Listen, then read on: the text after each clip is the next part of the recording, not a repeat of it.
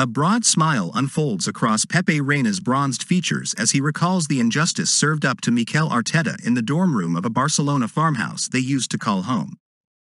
Reina was on the top bunk and Arteta below, but there was no doubt where the noise was coming from.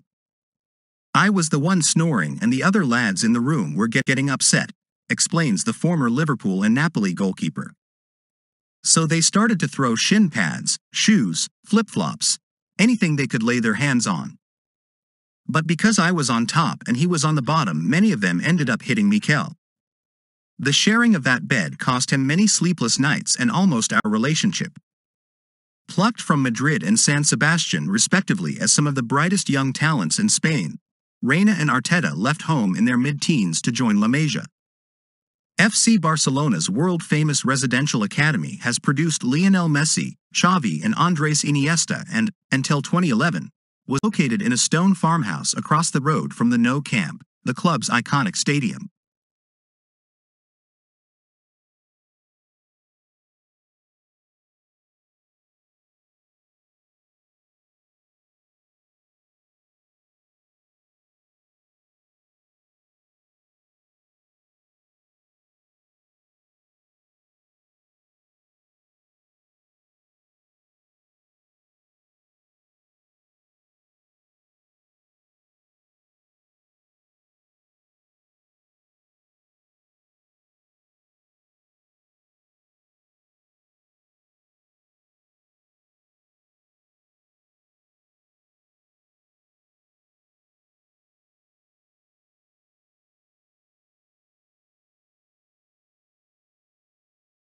When Tina Turner first spoke out about the violence she endured during her marriage to Ike Turner, it was an act of bravery to expose herself so publicly.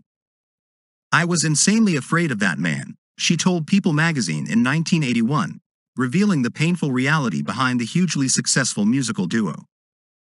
Tina's scorching description of their marriage included being made to watch a live sex show in a brothel on their wedding night and being beaten with a shoe stretcher while she was pregnant. She also spoke about Ike throwing scalding coffee at her and of being brutalized with a coat hanger. In 1968, she tried to take her own life.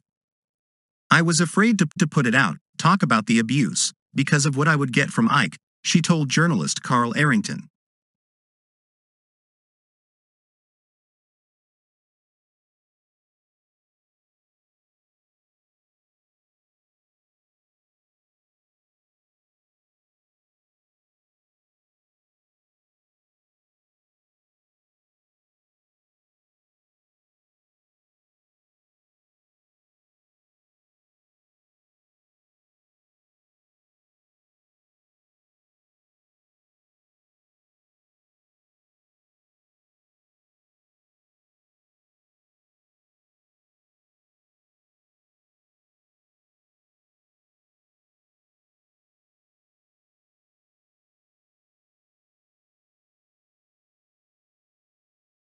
Maxim had been fighting for 200 hours without a break when he was killed by a Russian sniper in the city of Bakhmut.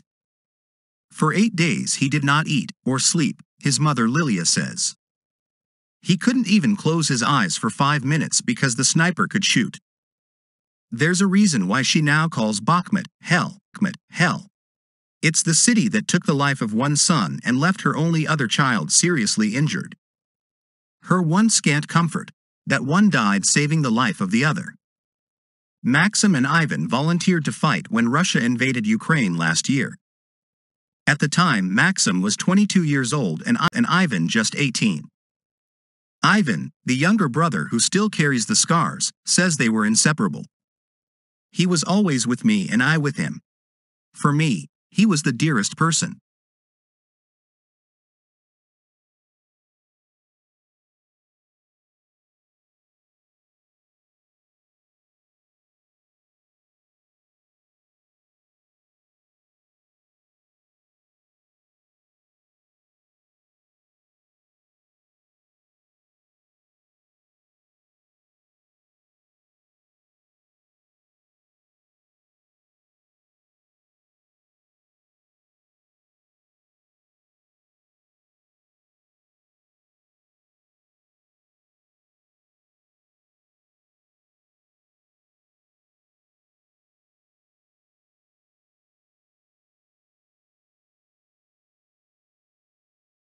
ABBA's Bjorn Ulvaeus and Benny Andersson have ruled out a reunion at the 2024 Eurovision Song Contest in their native Sweden. Next year will be the 50th anniversary of the band winning the competition with their song Waterloo. Speaking to Reports Newsnight, the pair also dismissed the idea that they might compose the host nation's, en- nation's entry. Since ABBA won in 1974, Sweden has gone on to win Eurovision five more times, including this year in Liverpool. Bjorn and Benny, who swore never to tour again and reportedly turned down an offer of $1 billion to play 100 shows at the turn of the millennium, say they do not want to get back together with Agnetha Faltskog and Anni-Frid Lyngstad to perform, even for one night.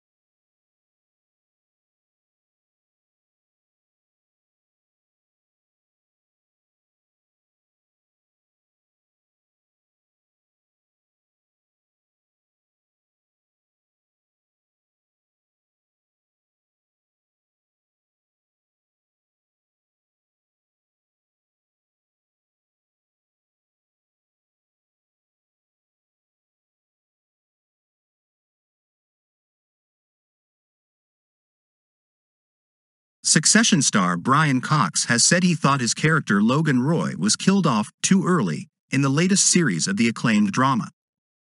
The Dundee born actor praised writer Jesse Armstrong, however, for executing the plotline brilliantly. The fourth and final series of the Emmy winning show saw Cox's media mogul killed off in the third episode.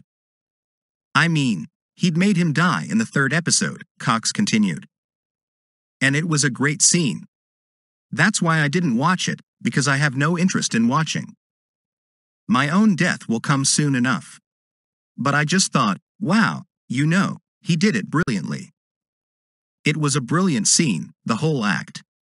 Asked if he considered suggesting to Armstrong that Logan was being killed off too soon, Cox said, No, I didn't.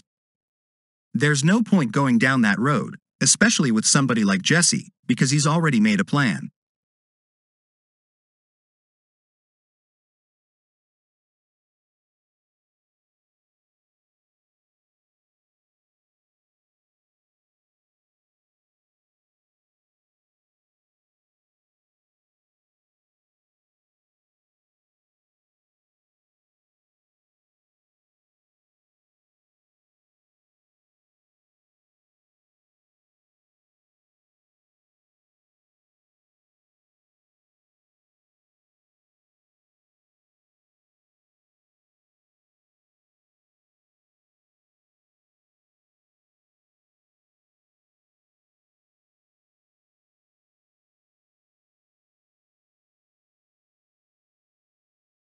The new owner of Silicon Valley Bank's SVB U.S. operations, First Citizens, is cutting around 500 roles held by former SVB workers, the reporters understands.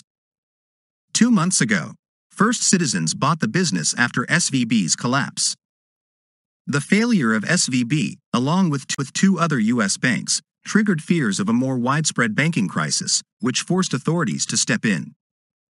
SVB's business in the UK was bought in March by London headquartered banking giant HSBC for a nominal £1, $1.25. The team in India that supports SVB is not, is not impacted by the changes, he added. The reporters understand that the job cuts amount to around 3% of the company's total workforce. The story was first reported by US based news website Axios. First Citizens is based in Raleigh, in the U.S. state of North Carolina, and calls itself America's biggest family controlled bank. It has been one of the largest buyers of troubled banks in recent years.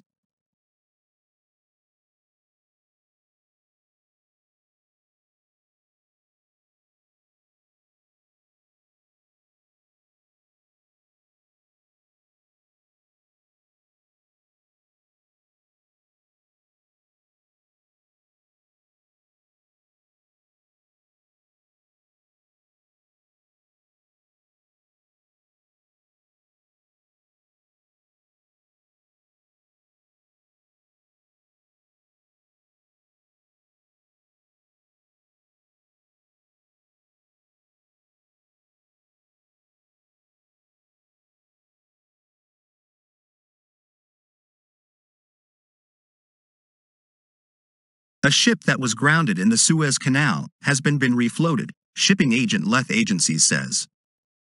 Tugboats had been working to refloat the bulk carrier, named Xinhai Tong 23, the company said earlier.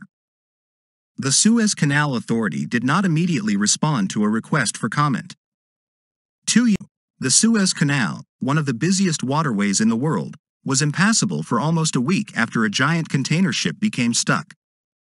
The Suez Canal Authority has successfully refloated MV Xinhai Tong 23 at 0740 hours, Leth said in a tweet.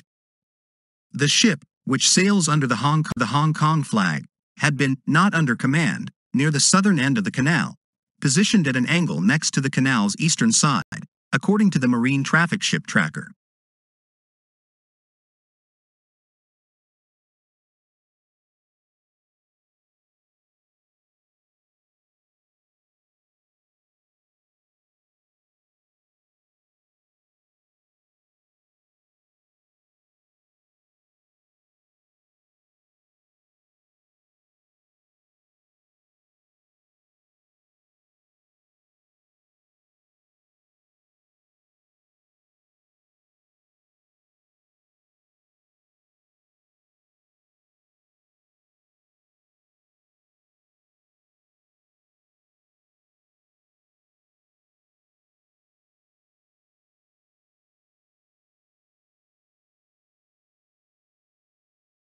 The head of the Russian paramilitary group that said it was behind a cross-border raid into Russia from Ukraine has vowed more such incursions. I think you will see us again on that side, said Denis Kapustin, who leads the Russian Volunteer Corps, RDK. Russia said it had repelled the raid, killing more than 70 saboteurs. Russian Defense Minister Sergei Shoigu promised a harsh response to any future incursions. Ukraine denies involvement in the raid. Denis Kapustin is known as a Russian nationalist, and his group openly says it wants a mono-ethnic Russian state. The RDK, along with the League of Russia Legion, LSR, claimed Monday's raid into Belgorod region. Speaking on Wednesday to reporters on the Ukrainian side of the border, its leader, whose nom de guerre is White Rex, said, We're satisfied with the result.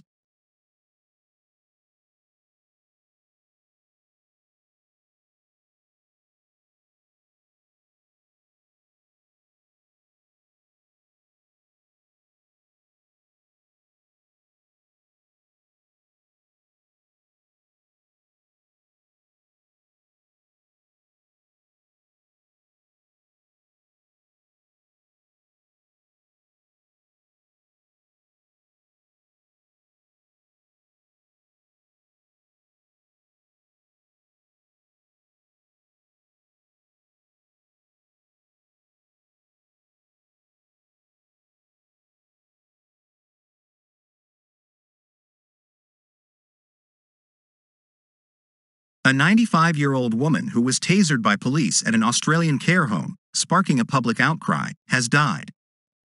Claire Nowland was critically injured after police responded to reports she was wandering around the home with a steak knife at about 4 o'clock last Wednesday. New South Wales Police, NSW, said she died. She died, surrounded by family and loved ones. The officer who tasered Mrs. Nowland has been charged with assault. The 33 year old senior constable will face court in early July on charges of recklessly causing grievous bodily harm, assault occasioning actual bodily harm, and common assault. He remains suspended from duty with pay while investigations continue.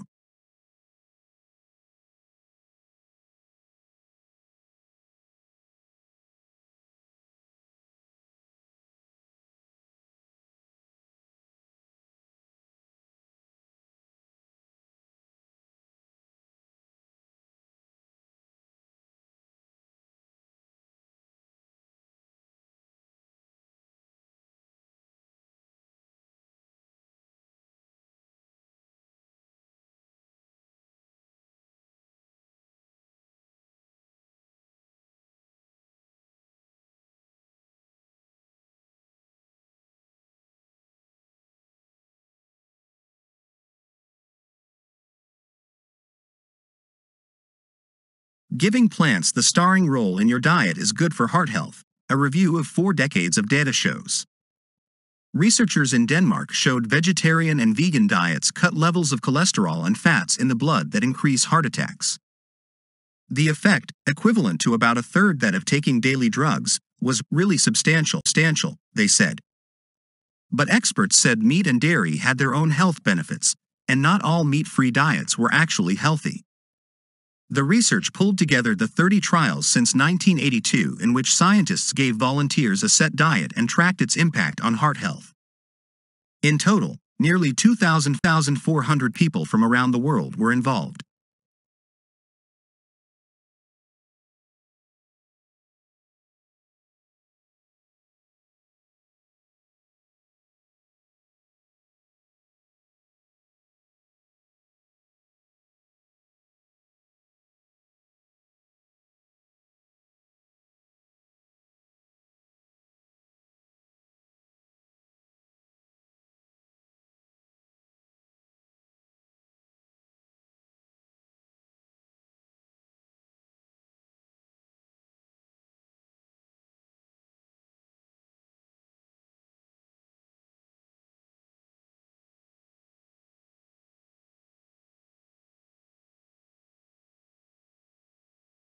Cathay Pacific Airways has fired three flight attendants after a complaint that they had discriminated against non-English speaking passengers.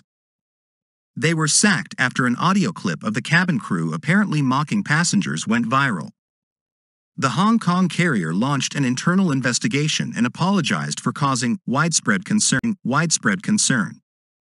Chinese state media claimed the airline was looking down on mainland Chinese people.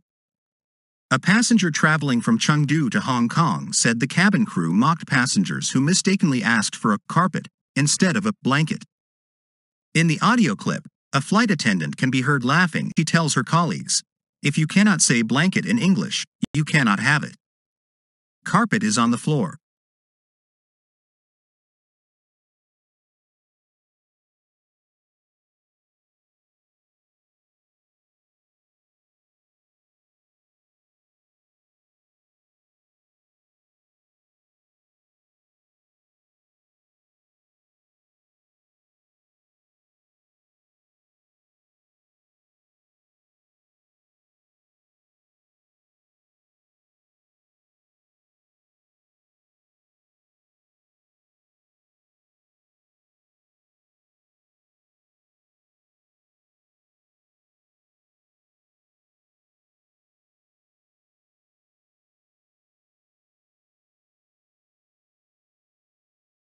India's new parliament is set to be inaugurated this weekend amid a political row as 19 opposition parties say they will boycott the ceremony.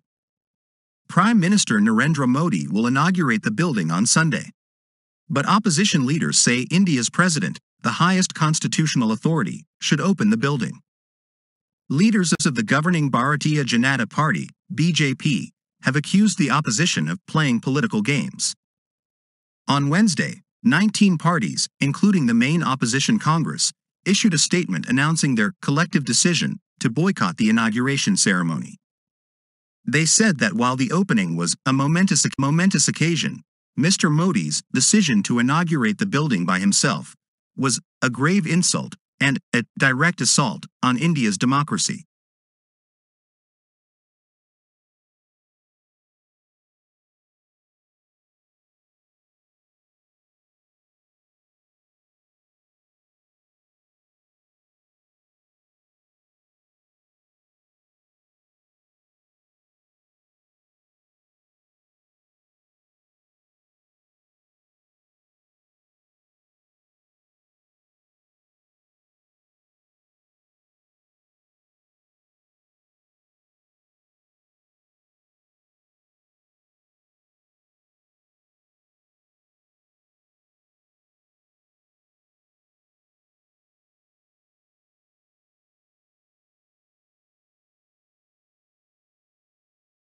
On the 26th of June 1975, the police arrived at a hostel in India's southern city of Bangalore and arrested Atal Bihari Vajpayee, a prominent opposition politician. The previous evening, Prime Minister Indira Gandhi had imposed a state of emergency and plunged the nation into an extraordinary crisis. Elections had been suspended, civil rights curbed, the media gagged and critics and opposition politicians rounded up. Gandhi also banned the Rashtriya Swayamsevak Sangh, RSS, the ideological fountainhead of the later-day Hindu nationalist Bharatiya Janata Party, BJP, which rules in today. Vajpayee was then a leader of the Jan Sangh, the right-wing forerunner to the BJP, and a member of the RSS. More than two decades later, he had risen to become India's prime minister, twice briefly in 1996 and 1998, and then a full term, leading a coalition federal government between 1999 and 2004.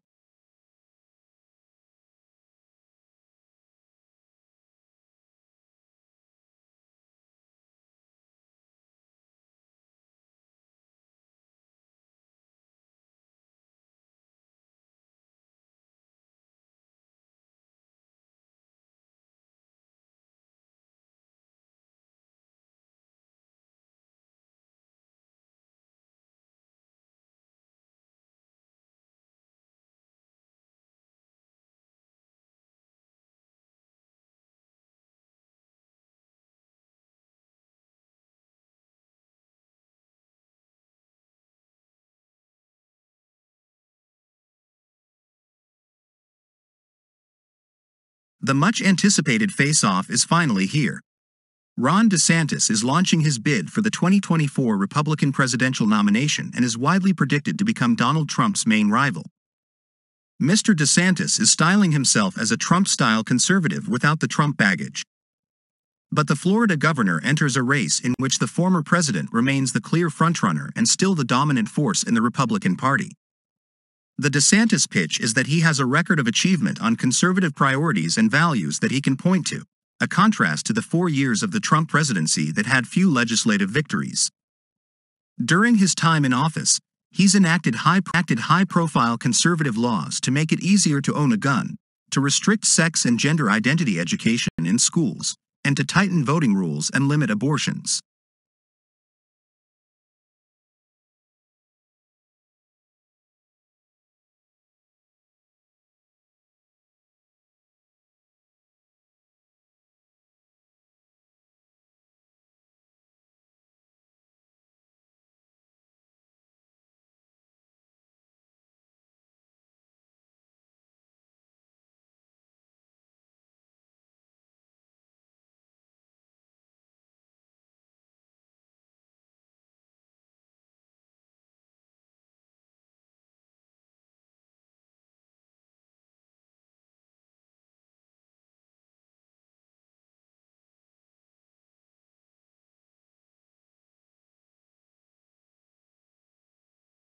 Critics have hailed Wes Anderson's star studded new film Asteroid City as stylish, but lacking in substance.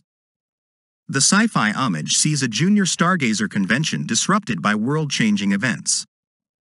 A busload of its stars, including Tom Hanks and Scarlett Johansson, were in orbit around the film's premiere at the Cannes Film Festival on Tuesday. Oscar winner actor Hanks walked the red carpet with his wife, actress and producer Rita Wilson. Asteroid City sees Johansson lead an ensemble cast of Hollywood royalty, including Hanks and Margot Robbie, both newcomers to Anderson's celluloid world, Jason Schwartzman and Tilda Swinton. The film also features Jeffrey Wright, Edward Norton, Adrien Brody, and Steve Carell, who stepped in for Anderson favorite Bill Murray after he caught COVID days before they started filming.